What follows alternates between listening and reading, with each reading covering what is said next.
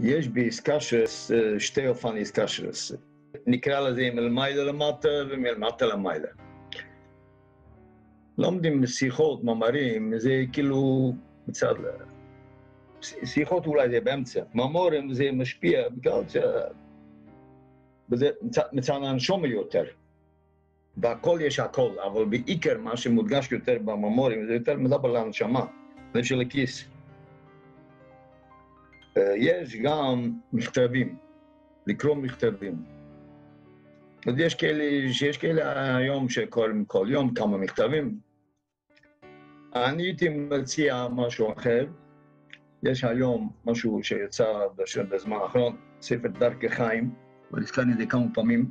זה ליקוד של שיחות, אה, מכתבים של הרב, שסידרו על פי פשט השבוע.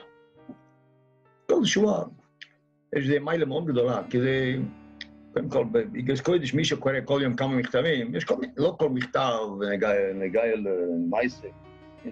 פה ליקטו דברים, כל המכתבים הם ליקטו בקפידה, כל, כל מכתב יש לו מסר, וגם המיילה יש פשט השבוע. כל אדם יש לו פשט השבוע, איזה הרות לומדים בפשט השבוע. יש בני מיילה מאוד מאוד גדולה. וגם עוד דבר, שם פעם קוראים, פעם לא קוראים, היום לא יהיה לי זמן. אם זה פשט השבוע, זה מחייב כאילו. אני צריך לעבור כל שבוע את הפרשה. לא עם המכתבים של בזה כל מכתב מודד. כל מכתב יש בחידושים, הברוקות כאלה. גם מאוד מאוד מעודד וממריץ ומאוד תובעני, אבל לפעמים תובעני אתה מרגיש מכווץ. אבל אצל הרב זה לא ככה, זה תובעני, ביחד עם זה נותן לך את העידוד ואת הכוח שאתה כן יכול ואתה מסוגל. זה משהו הפלא ופלא, וזה מלמטה למעלה. זה עובד על השכל.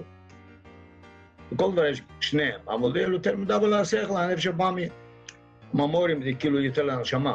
אבל זה מדבר על השכל, פשוט, זה, משהו פילה פלואים. אני ממליץ זה לכולם, כל שבוע יש, היום יוצא בשני כרכים כבר, לקרוא, מי שיעשה החלטה טובה כזה, יעשה דבר עצום, כי זה יביא הרבה הרבה דברים טובים. כל שבוע ללמוד המכתבים של אותו פרשה, פרשת השבוע.